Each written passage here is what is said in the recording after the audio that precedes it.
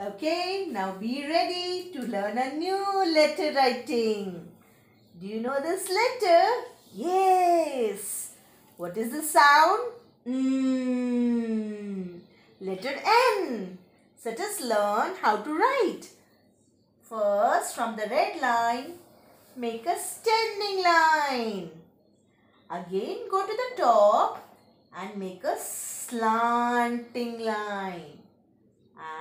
Then again go to the top and make a standing line. Yes, this is letter N and the sound is N. Now let us write.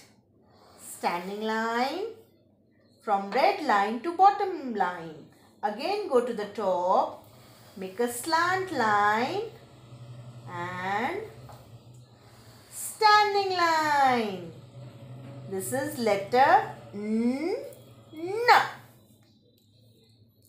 Okay.